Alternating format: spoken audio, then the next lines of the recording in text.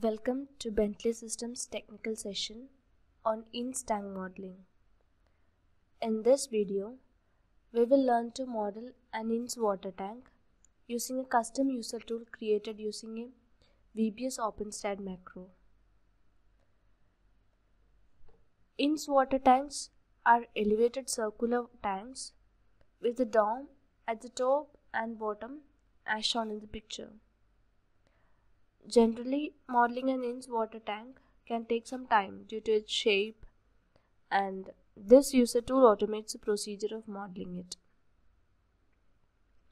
So let's have a look at how this user tool works and what are all the parameters needed to create a water tank using this. Create a new stat profile for this exercise Make sure you have not opened any other STAAD.Pro instances at this time. And you can directly open this user tool using the macros option under utilities.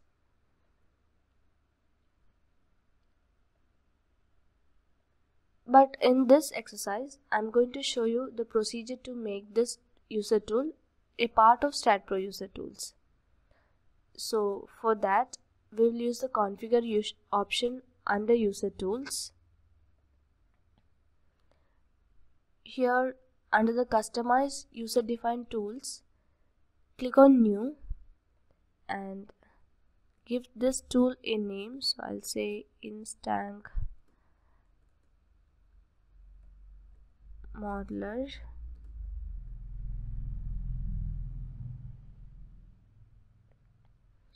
and browse here to the location where you have saved this OpenSTAAD macro.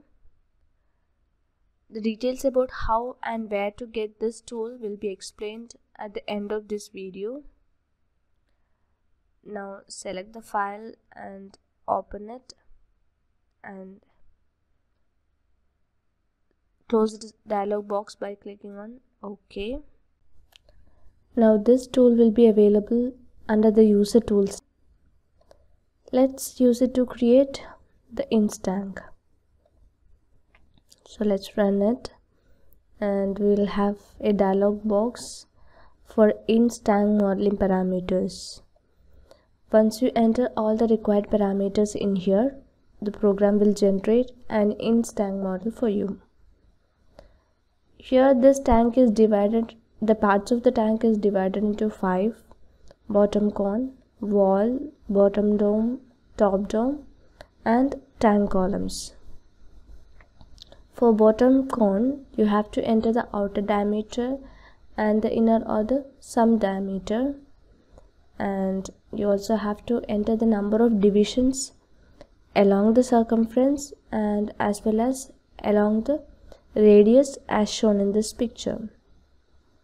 The number of divisions are entered in order for the program to mesh the plates that we are creating. And for walls we have to enter the depth at the circumference as well as at the center. For walls also we have to enter the number of divisions across the wall depth. It can be either the number of equal divisions so you can say 5 or 6 number of divisions or you can define user defined divisions. So while defining user defined divisions you have to make sure that the sum of the divisions should be equal to the depth at the circumference. So for this example the depth at circumference is 3 and when you are using the defined divisions the sum of these divisions should be equal to 3 meter. And then you have to define the width of the toe and also the number of divisions of the toe.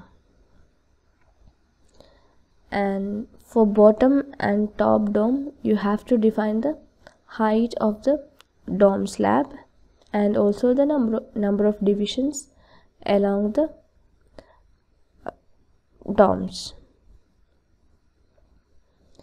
lastly you have to define the number of columns and the length of the column as well as the number of equal divisions along the length of the column which will be creating the bracings for you.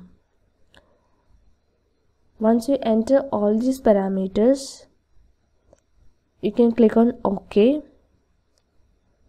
and here on the STAAD.Pro main screen you can see the program is generating the Intze tank based on the parameters that we entered in the dialog box.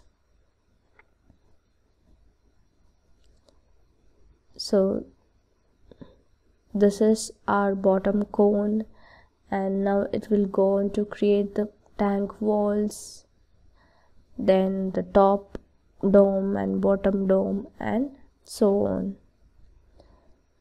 One small tip here is that while generating this model if you minimize this STAAD.Pro window the process of generating this tank will be faster.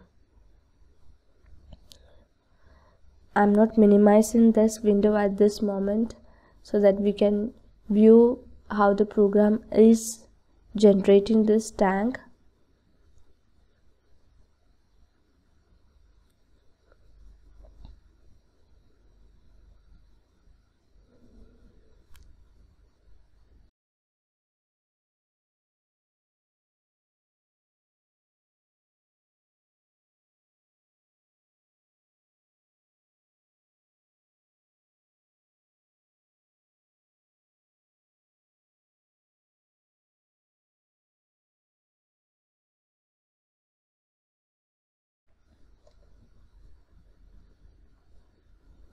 so this is the final model that the program has generated using the user tool. We have grouped whatever elements that we have created so that it will be easy for you while assigning the properties or applying the loads on the structure. So if you go to select and group you can see the various groups has been generated by the program or generated by the tool so if I click on bottom dome the group bottom dome it will highlight the bottom dome groups. Similarly the columns or the base slab. So we have generated all these groups so that it will be easy for you for further developing this model.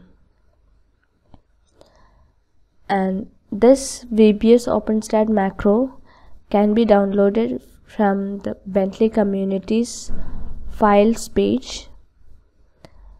You have to make sure that you are signed into the communities page for you to download this one. The link for the same will be given in the description for this video. Thank you